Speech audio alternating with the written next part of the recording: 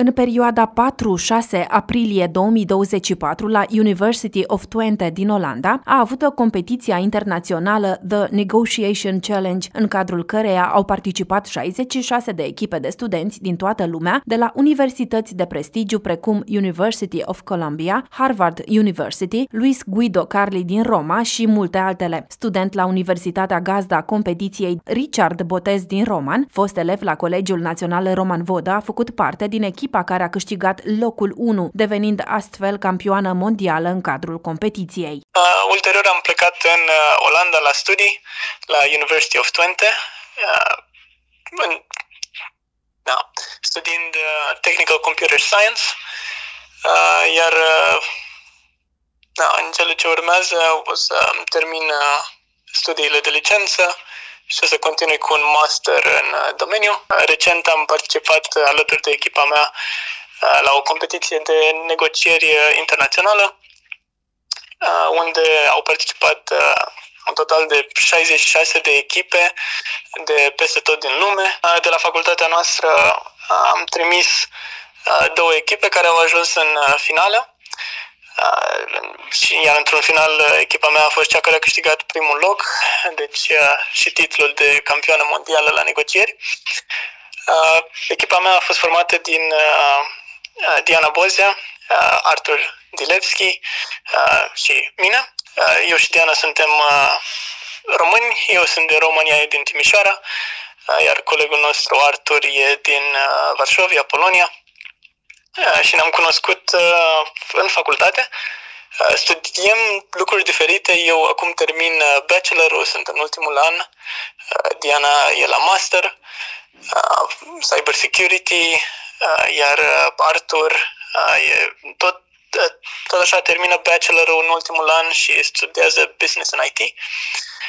Dar modul în care ne-am întâlnit e oarecum în afara studiilor, în cadrul asociației pe care o avem în care învață elevii cum să negocieze în timpul lor liber uh, și un, uh, un curs care durează aproape 7-8 luni cu mituri săptămânale în care suntem în jur de 20-25 de elevi care uh, din diferite studii ne adunăm seara de la 6 la 8 odată pe săptămână și învățăm de la uh, alți studenți care au învățat la rândul lor în anii trecuți cum să negociem și cum să um, abordăm diferite subiecte ale negocierii și într-un final să participăm la competiții de acest gen. Primești cazul, e prima dată când îl vezi, o oră te pregătești cu echipa ca să înțelegi tot și să poți să pregătești o strategie, după care ai uh, imediat după încă o oră în care te așezi la masă cu uh,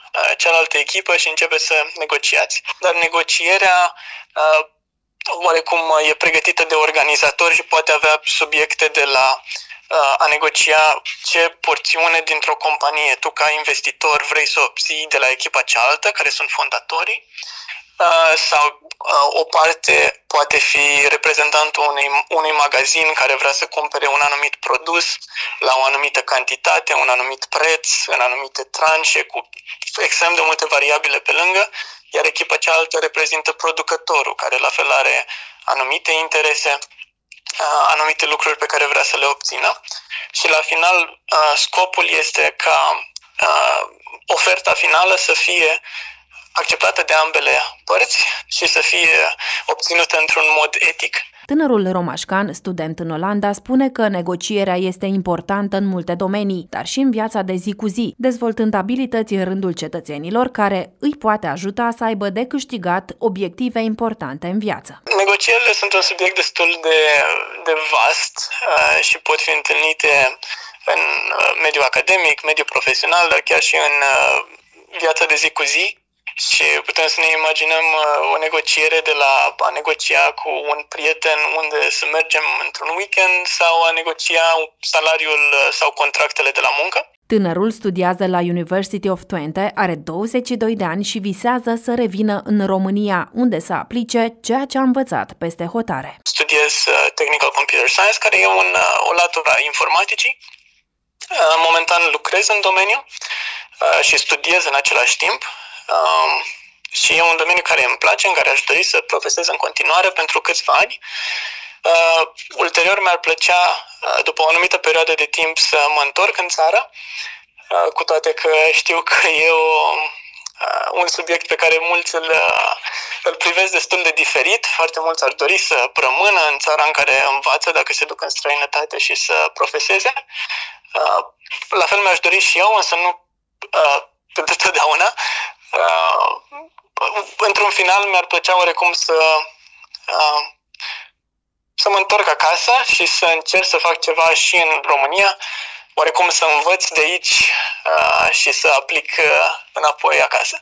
Richard Botez este unul dintre elevii fondatori ai echipei actuale de robotică The Eagles din cadrul Colegiului Național Roman Vodă, făcându-se așadar remarcat încă de pe băncile liceului. Pe lângă tehnologie și negocieri, tânărul romașcan este interesat de business, deci de domeniul antreprenoriatului. Visează la o schimbare la nivel educațional care să fie adaptat la noua generație, să îi încurajeze pe tineri nu doar să aspire la note mari, ci la mai multe realizări pe plan personal și extra extracurricular, realizări care să îi ajute să descopere ce îi caracterizează și îi avantajează, indiferent de ce vor să facă în viitor.